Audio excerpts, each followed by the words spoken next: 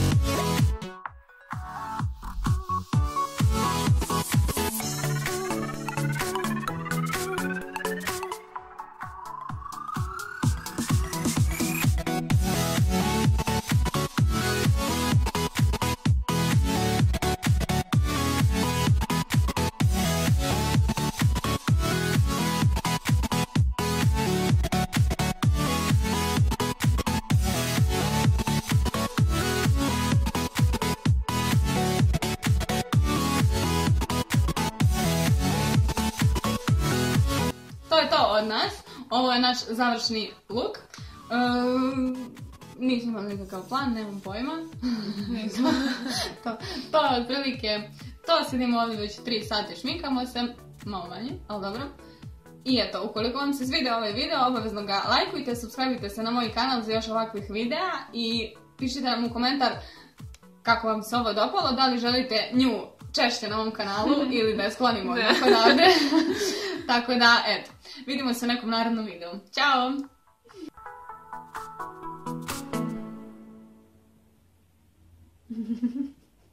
Onda ne više da tako. Što? Kao vrtim glavu.